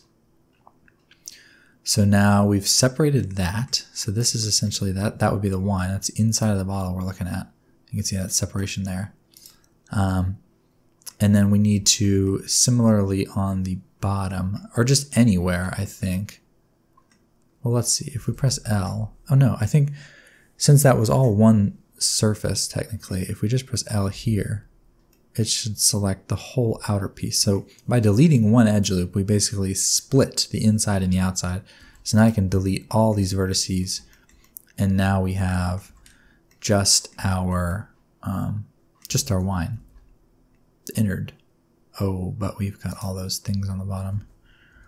Let's um, let's press the way I'm going to get those again. Selection tips. I'm going to press L to select the wine, and then Control I to invert my selection, which is going to get all those. So X vertices. Boom. Looking good. Okay, so now that that is the innards. So what we need to do is just select this ring. And is this high enough? I think I want it to sit right below the foil. And you know, maybe my foil is just a little bit high. I want to press G twice to edge slide it up a little bit. And then I'm going to zoom in and just make sure that's in the right place. Okay. So edited the, eh, is that too short now? I don't. It looks fine. So let's, um, so we can just, you know, if you had to add edge ring, you could, but I think right there is going to be a good spot for the top of the wine. Press F to fill that in, and then um, since we duplicated from that object, it has the subdivision, which I want to leave on. I want those all to match up. If you've got different levels of subdivision on the bottle and the wine inside it, uh, you could run into some issues. The easiest way to avoid that is to just apply the subdivision, but I'd like to leave it on. Um, so what I'm going to do is just uh, with that edge selected, I can turn this crease option on, which is going to remove the subdividedness. Um, and then now for this object, which I don't think I had it on before, oh, not edge length, I'm going to turn on auto smooth. Yeah, and that will uh, sharpen that. So crease will, um, if you have use creases enabled, which is this is in the advanced part of the subdivision modifier, um, you'll see that there's that use crease option. So uh, what a crease is going to do is tell, uh, it's just a specific place where it's like, don't subdivide here. You, you can control the crease, but um, I want it all the way to one. So just absolutely no crease because that's just flat. It needs to be the top. Um, but I still do want the subdivision on because that's what's smoothing out the rest of the thing. So let's um, let's go ahead and set up the material for the wine. Now, since the wine is also clear, also relatively shiny, I'm just going to uh, press this plus sign here to create a new material, which when you do it in this field, or if you did it right here, will create a, uh, a duplicate that has the same uh, data. So add a new material. It's going to be called bottle 001, which I will name wine. And for that, uh, we can pretty much leave all the settings the same. We just need to change the um, color to whatever color you want. So I'm going to be changing it to a red wine. Syrah. Something like that looks fine. Maybe you want to spin it around the other way and be a more purple because like grapes are purple. I guess technically the color would be more purpley. Now for this, uh, we'll turn the saturation all the way up. I think it's going to look good. And then the value will bring down a little bit. You just kind of have to imagine what a thing of wine would look floating midair. I think it would be a little bit darker. I guess if you've seen wine in like a carafe or something like that, or something larger, you'd have a good, good guess. But yeah, something like that. Of course, you know, make this whatever freaking color you want. You want blue wine? Have at it. It's all you. So I think this looks fine. I'm just going to tab into edit mode and then press shift N.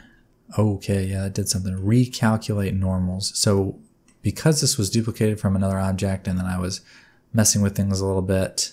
Um, the normals looked a little bit funny. And I could tell that just because of the reflections were a little bit off. They seemed not quite right.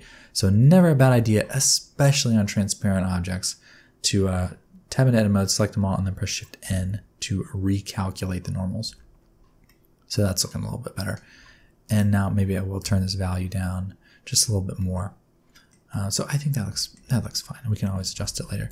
So GX, and then since I had held control earlier, we know that that's going to snap right back into place. Now, if I look here, zoom in, we've got a classic problem when you're creating liquid inside a bottle, which is that since we made it from the same geometry, it is overlapping. So they're like exactly on top of each other, which creates, um, you know, basically zero thickness geometry or like doubles basically. So it creates this horrible looking pattern. Um, and the fastest, easiest way to remove that is just to scale your inner object ever so slightly. Um, if you do it inwards, you get a little bit of a different look than if you do outwards. I think outward looks better. So if we scale in, you can see that the glitchiness has gone away and it looks like that. But if we scale it out just a little bit, it looks like that. What's the difference? Who knows? So yeah, I'm just gonna, I'm pressing S and then just hold shift so that it's very small drag. I'm like pointing at the top of my screen as I always do, but in the top left of the window I'm currently in, um, you can see the scale.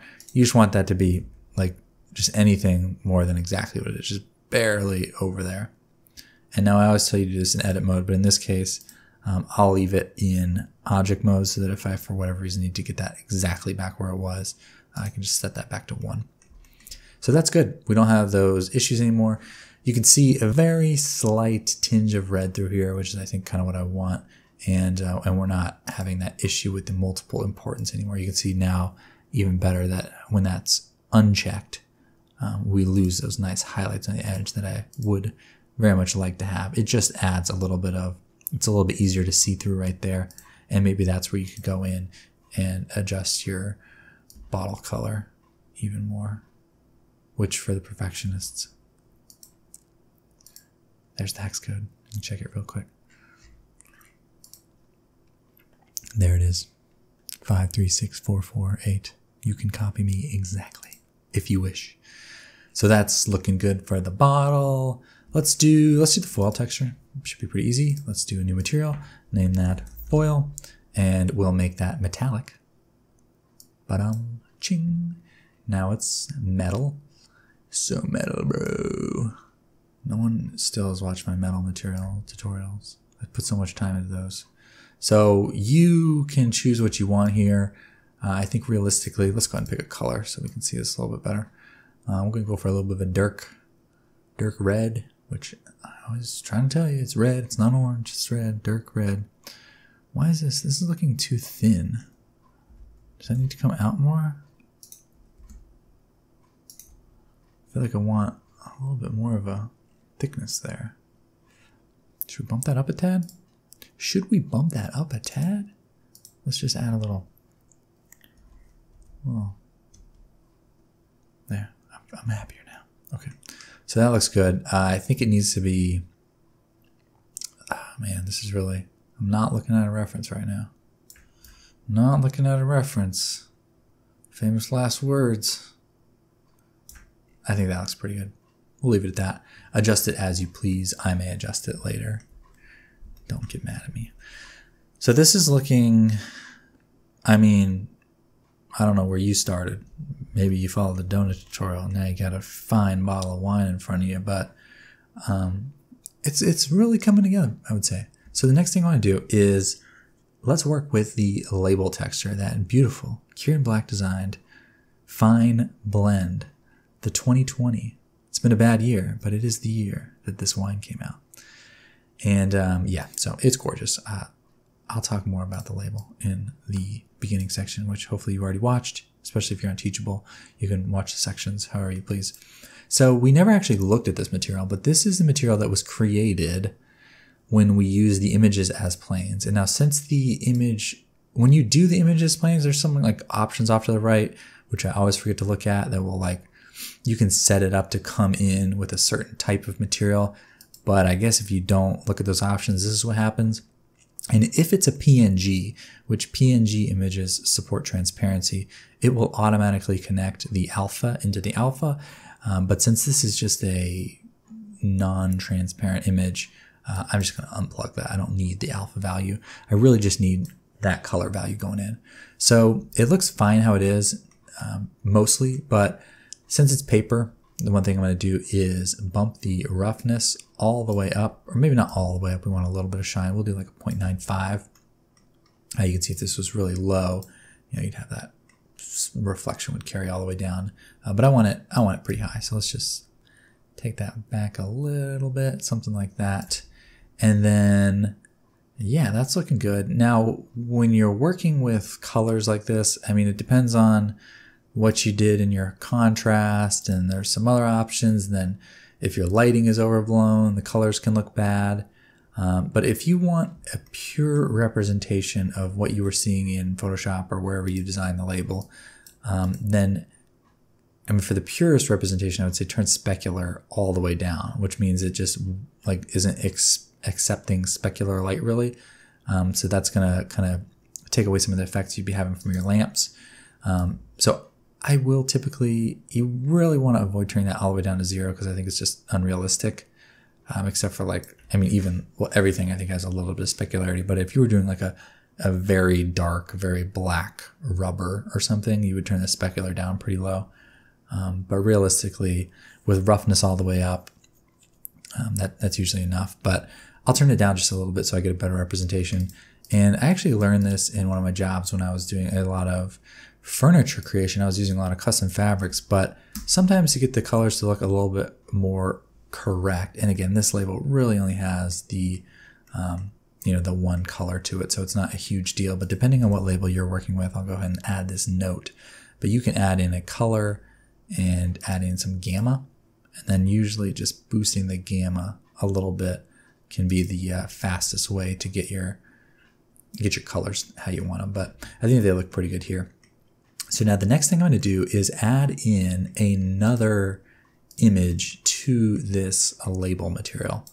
And that's going to be the uh, basically the roughness map. So uh, Kieren and I created a separate map that is, um, yeah, basically it's the it's going to tell certain areas of this to be rough versus shiny.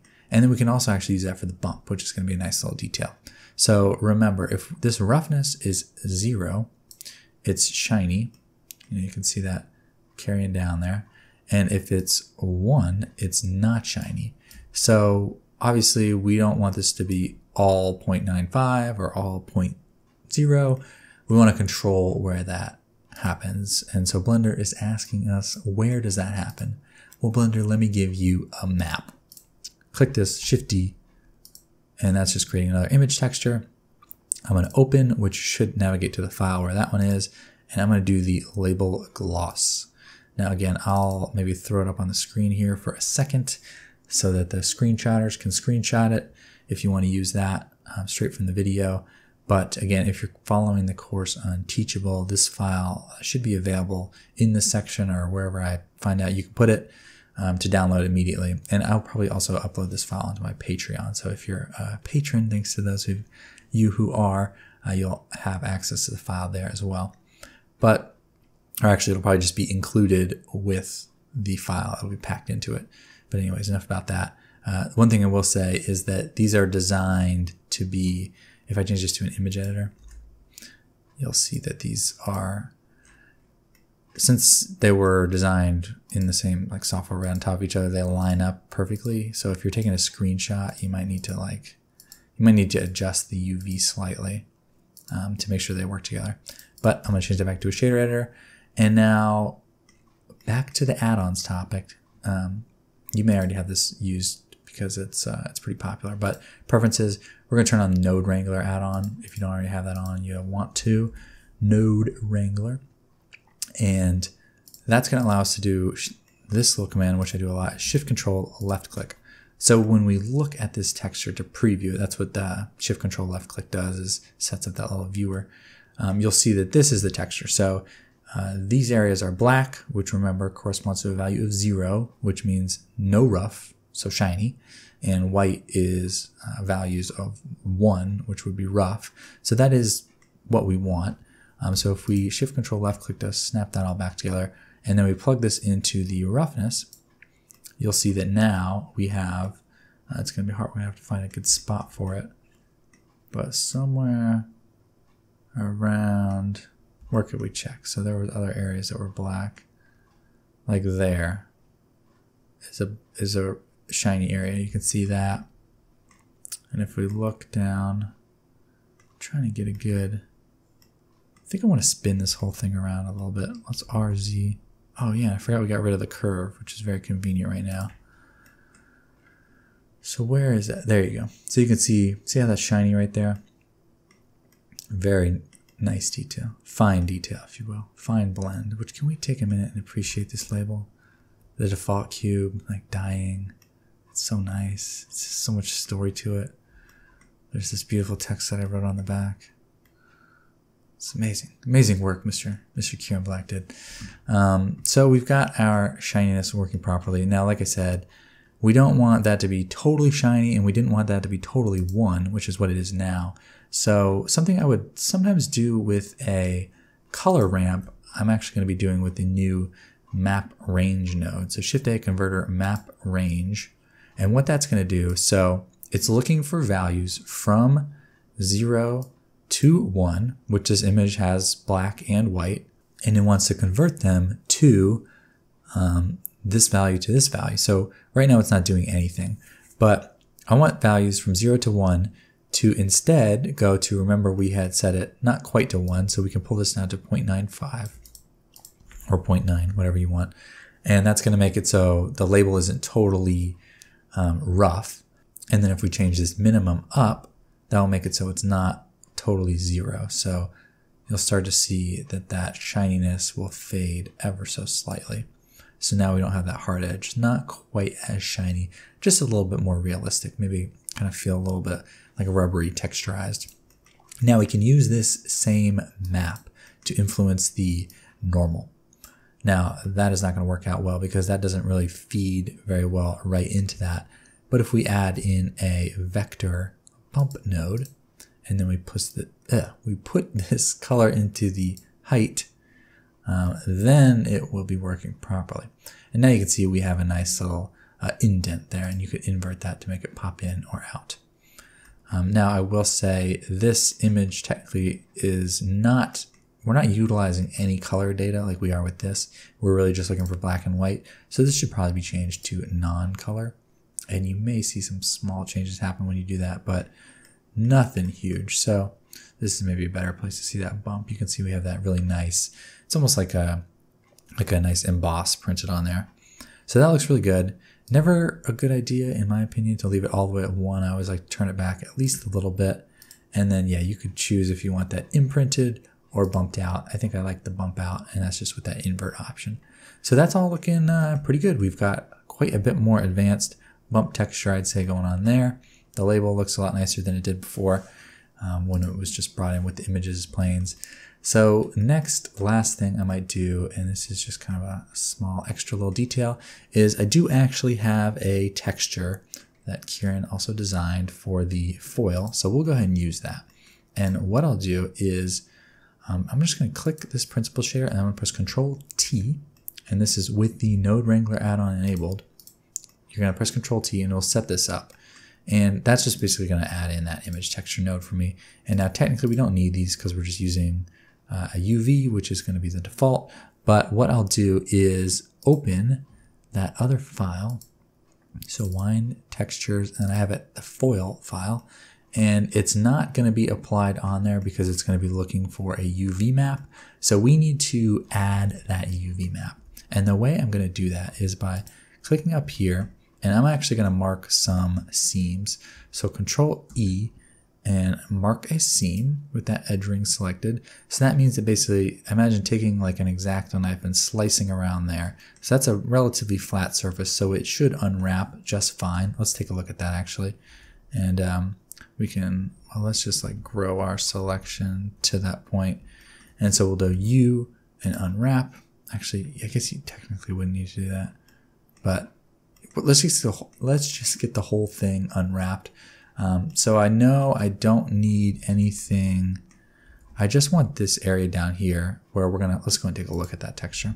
So I want the I want the foil to have this little icon on the top and then this I want down here just kind of on the on the neck of the bottle. So let's go back to our, I guess we can stay in our UV editor here. Um, so that's the UV we just unwrapped. I guess we could technically go and place that there if we wanted to. Um, but we want to unwrap this other part. So let's create another seam. Uh, so Control E and mark seam. Um, now, if you try to just, so we're really not, we're, we're not going to put anything there, so we don't need to really worry about the unwrapping. But if we U and unwrap this now, this is the bottom area, and we can actually select the whole mesh island here. So this is the bottom area, and the reason is, is imagine, you know, so anywhere that where there's loose geometry on the bottom, that's automatically going to be a seam. And then we added that seam, but uh, don't forget you would also need to have a seam running up and down the edge. So I'm going to my edge select here with two, and then I'll just kind of, you know, basically slice down the back there, control E, mark seam. Now when I unwrap, it's going to work a lot better. So here we can see is our top section, or is that the other weird section? That's the top section. So let's just get that into place. Something like that. And just put that however you want it. Kieren has a nice message for you all. Wines of Adelaide are the best. So he says. I've never had wines from Adelaide. Maybe I have. Um, now this is that weird area which got unwrapped horribly. You can see if we like move it over here. And again, if you can't see your textures in this view, um, make sure you're in this thing. And also if you can't see them, make sure you have one selected. Sometimes if you have something else selected, uh, it won't display in the viewport. Um, so make sure that's selected. Sometimes that can create an issue. Uh, and you can't be in an image editor, you have to be in a UV editor. Those used to be the same thing. For some reason, they're not anymore. Um, so I'm just going to move this. I'm just going to scale it really down into a white area. So I know that that's not going to be picking anything up. Now this one, we want over here and we want it kind of like rotated, but it's not, it's going to be kind of like weirdly aligned. So it's not like perfectly flat, which is realistic because, you know, this would be printed flat, but then it needs to be wrapped one way. So you can just kind of eyeball it as one way. Um, but there's also a way you can, you can, let's just select this ring and this ring with alt click. And then we're going to do U. And then instead of just unwrap, we're going to do follow active quads, which will try to straighten it out a little bit better based on whatever the last, you know, one is selected, that highlighted one. So you can see this has flattened it out a little bit better. And that's going to look nicer when we, uh, when we place that label. So it just, it aligns to the bottom a little bit better. Small details there. Another thing that if you're a beginner, might kind of skip that because UVs are just not fun. Um, so this is looking this is looking good. We can kind of just put that wherever we want, maybe somewhere right there. And of course, we can always just rotate this object, the foil object around later if we need to point at a different angle. Um, so you'll notice though, we did lose our color. We want to add that back. Let's go into our shader editor. And um, since I already had it set, I'm going to unplug this and then just hovering my mouse over here, another place where mouse position is important. I'm just going to press Control C and then that will copy the color. And now what I'm going to do is add in a color ramp. And now, if we remember correctly, the white was the outside area. So yes, now I'm going to press Control V to paste that color. And now that we have our color successfully added, we could drop this color ramp in the middle of these. So plug that color, which is black and white. And the color ramp works similar to a map range, but with color instead of just value. So that was going from black to white. Now we're telling it go from black to red. So you'll see what effect that has if we plug it in. Looking very nice. And now you could have some control over the, uh, the colors here. So maybe I want this to be a white color. Or maybe I don't want it to be a color at all. And I just want to use this for the bump map, for example. So we could plug this into the normal and then do vector bump and plug that into the height. And now you can see we have just a nice little impression there and we could bring that down. Just a, a small detail and emboss. And then that's doing the same thing up top. Very nice, very classy. Extra little detail, go the extra mile. Um, now, do I want to add the color back in? I might. Or maybe I just make it like a, I should have saw that color copy, control V. Maybe I just bring it up so it's a little bit like darker. Just kind of, just so it's a little more visible, but so it still has that bump. Yeah, I think that looks really nice. So that's about it for our basic uh, materials setup. Uh, actually, wait, there is one more thing that I did want to do, and that's to um, just break these lines up a very little bit. So if you think about the way a glass bottle is made, glass starts off um, like molten as a liquid, and then when it cools, um, it doesn't stay necessarily perfectly straight. Of course, in some settings it does, but I think in the case of making a wine bottle, there would be a little bit of ripple.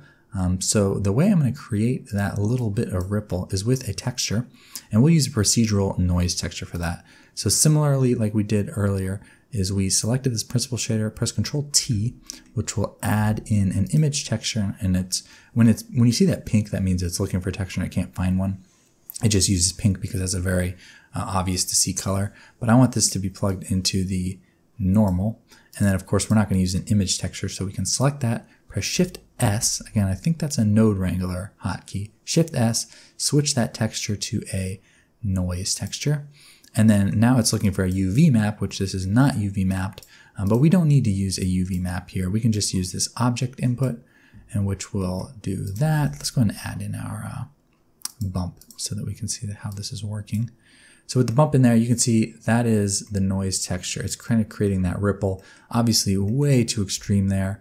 Um, you can change the scale up or down depending on what you like, but I think leaving this very subtle, maybe like a scale of three or something looks nice. And then let's go back into our front view here and then, sorry, our camera view. And then we'll turn the strength on this pretty far down. And you could maybe even, let's leave the strength up while we look at this, but you can add a little bit of distortion, which will just kind of make it like more ripply, if you will. Um, so let's maybe turn that to like a, I don't know, just turn it up a little bit. 1.5 is probably fine. And then the strength on this bump, I'm going to turn really far down so that it's very slight. You, and here's another node wrangler thing. If you press uh, on this bump here and then press M, it will mute it. So it's like it's still connected, but you can see what it looks like without it. So there's it on and off. Just adds, you know, some very slight variance there. Maybe you think that's a little bit um, too much, too little. You can adjust it. You know, if we change the scale up too much, even if the strength is really low, you'll still see it. Um, so I'm going to leave it. Maybe we'll turn it up just a tad. Something like that. And maybe we'll bring it back a little bit. This should be a very subtle effect, but I did want to uh, leave it in there just so that you could see what that looks like and um, just an, an, extra little detail to kind of give yourself some realism. Sometimes, you know, if you're doing like a Photoshop mockup or something, it might be missing things like that. So, you know, we're going through all the effort to, uh, to model this thing up in Blender. Might as well do it right. Um, now, did my wine, okay, so my wine is in there. So I'm just pressing R twice to kind of do a free rotation. Take a look at that beautiful bottom that I ignored earlier. Uh, and now with that empty, I let go. I can press Alt R to uh, snap that rotation back to how it was. But yeah, just press R twice and you can kind of spin things around, take a look at it. And uh, yeah, I think that pretty much covers it for the materials, if I'm not mistaken. Um, so what I'll do next is just go over some settings that we would maybe use in Eevee to maybe make this look a little bit better, and then also, um, you know, just setting up a render so that we can actually take this and uh, save out the image, take it to our boss, show him what we did, and uh, and yeah, so th- this would be you know technically a, a, pretty good stopping point, especially if you're a beginner. Um, now I may be adding some animation later in the tutorial as well. Stick around for that. But um, yeah, we're pretty much all set up here. If you know how to render an image, you're free to leave at this point. Thanks for being here. Go use the bathroom, take that walk. I think I'm about to go take a walk. And uh, yeah, thanks for being here. Like and subscribe. Stick around. We'll uh, we'll be doing some more in the next part.